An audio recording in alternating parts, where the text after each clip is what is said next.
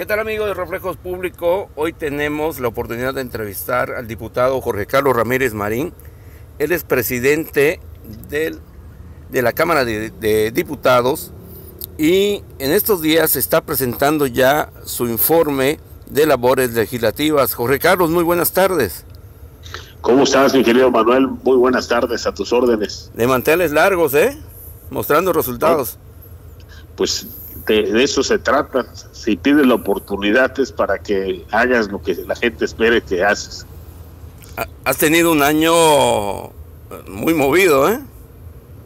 Pues ha sido un año muy intenso, pero afortunadamente muy fructífero. Creo que tanto en el tema de las eh, gestiones como en el tema legislativo en sí, de las leyes aprobadas, lo que se ha conseguido, creo que ha sido muy productivo. Desde, desde tu óptica, ¿qué es lo mejor que has conseguido en este año legislativo? Mira, es un poco difícil explicarlo en cuanto a leyes, por ejemplo, ¿no? Porque, por ejemplo, tienes el decreto de presupuesto. Este es el tercer año consecutivo que el gobierno del Estado aumenta sus, sus participaciones, aumenta las aportaciones, aumenta el fondo destinado para municipios. Pues eso nos llena de satisfacción, no es un trabajo exclusivamente mío, pero pues siendo el vicecoordinador primero de la bancada más grande y ahora el presidente de toda la Cámara, pues de alguna manera siento que afortunadamente influido para que se mantenga ese ritmo de crecimiento del presupuesto para Yucatán. ¿De cuánto fue el crecimiento, Jorge Carlos? Vamos a llegar a más de dos mil millones de pesos cuando terminen de incorporarse los fondos, cuando termine de incorporarse cultura, apoyos a municipios. Vamos a terminar casi dos mil millones de pesos arriba del año pasado. Y esto es muy satisfactorio, pero si te vas al otro lado, a la parte meramente de leyes, pues a mí, por ejemplo, me satisface muchísimo que con una iniciativa presentada por tu servidor y el coordinador de la bancada del PRI y con un diputado que ni siquiera es priista, hayamos logrado este tema de las aerolíneas. es decir, que se incorpore ahora a sus obligaciones, pues hacerse cargo de los retrasos. Muchos me dicen, oye, es que se están haciendo los mismos y no es suficiente hay que empezar. Yo sé que no es suficiente, pero hay que empezar. Y también hay que darle espacio a que en su propio desempeño la iniciativa privada se vaya ajustando, ¿no? Yo estoy seguro que también en esto veremos una competencia. También habrá quienes den más y quienes den menos, pero pues de eso se trata el libre mercado y el público es el que va a escoger con cuál quiere viajar. eso salió de la Cámara de Diputados, eso es algo que salió de una iniciativa y de la determinación de tres diputados definitivamente, y por supuesto de la Comisión de Transporte. Pero yo creo que estas dos cosas, la verdad, son importantes. El presupuesto, los cambios que afectan la cotidianidad, lo que pasa todos los días, creo que son importantes. Y bueno, tienes leyes tan importantes como la de desaparición forzada, eh, las que se refieren a temas de salud, a protección, al trato de animales, por ejemplo. Pues ha sido un año muy intenso para la Cámara de Diputados. Sí, Jorge Carlos, y ya que hablamos de Yucatán, este, las mujeres de Yucatán, ¿cómo, cómo han, cómo, qué, qué, qué, participación o cómo, cómo se les está ayudando? Yo sé que lo que más necesitan las mujeres de Yucatán son ingresos. Y pues que lo que quisieran es todas tener un trabajo donde sin descuidar a la familia pudieran recibir un pago mejor y lo que queremos todos es que sus familias tengan una mesa pues completa, que no tengan que preocuparse que van a comer mañana, no tengan que preocuparse de si van a tener para el camión mañana. Y eso solo se consigue capacitando. Por eso, antes de empezar cualquier cosa, este programa de prepa en línea para mujeres, sí, sí, para mí es una apuesta muy interesante. Ya llevamos más de 600 inscritas, mi querido Manuel. Sí, y eso significaría muchas mujeres de distintas edades, el programa lo permite, no pone ningún límite de, de edad. Muchas mujeres estarían ya en condiciones de pensar en mejores trabajos, de pensar, en mejores ingresos, pero lo más importante, estoy seguro que hoy se sienten más fuertes, más eh, empoderadas, más capacitadas, porque eso es, esa es la otra parte que deja este programa, ¿no? Sí, como Orgullo. Sí, cómo no. Y te digo una cosa, creo que es uno de los programas que más ha sonado, ¿eh? Pues estamos tratando de que suene mucho para que muchas se inscriban. ¿Cuál es la diferencia aquí? Uno, tú terminas la prepa en línea y vas a tener un certificado de preparatoria completo, totalmente válido ante la SEP. ¿Cuánto esfuerzo te significa? Una hora diaria. Haciéndolo con constancia, en dos años a más tardar, estás terminando la preparatoria. Sí. Y una cosa muy importante, es gratuito. ¿Quién paga esto, que- Jorge Carlos? La empresa con la que estamos trabajando Ah, hace un esfuerzo para que el programa sea conocido. A ellos les sirve mucho para demostrar que es efectivo, que sí funciona. Ajá. Y con satisfacción te digo también que estos empresarios yucatecos que tuvieron esta iniciativa, que crearon el programa, pues ya están recibiendo llamadas de diputados de otros estados para preguntarles qué podemos hacer, ¿no?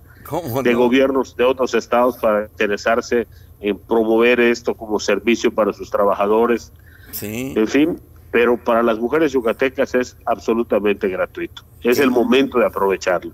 Qué bueno. Oye, Jorge Carlos, eh, recuerdo que una vez tuvimos la oportunidad de acompañarte a una gira eh, y fue un asunto de deportivo. ¿Cómo Sí, sigues en e- cómo sigues en esa en esa parte? Ticul.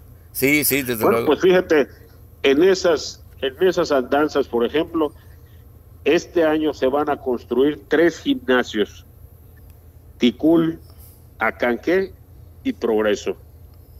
¿Para qué son estos gimnasios? Sí. Para practicar box, lucha, artes marciales, para tener una formación completa en este tipo de deportes. Pero ¿qué es lo que son principalmente los gimnasios? Un centro de convivencia, una, un objeto, una motivación para reunirte en las tardes, para aprovechar las tardes. Yo estoy muy preocupado. Como tú sabes, una de mis intenciones es cero jóvenes en la calle Sí. y este cero jóvenes en la calle se traduce a que solo estén trasladándose de un lugar a otro, a su clase de inglés, a su clase de ballet, a su clase de karate, a su clase de matemáticas. Quiero, veo a los jóvenes yucatecos con todas las ganas de aprovechar cualquier instancia para ser más saludables, tener mejor físico, tener mejor condición física y también, por supuesto, de entretenerse. Claro, y hay que abrirle los espacios, ¿no?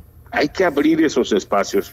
Manolo, cuando ya tenemos que hacer cosas en seguridad, es que ya tenemos el problema encima. Sí, desde luego. Hay que prepararnos para no tener ese problema. Y eh, la única manera, la única ruta es jóvenes que estén en la calle, pero preparándose.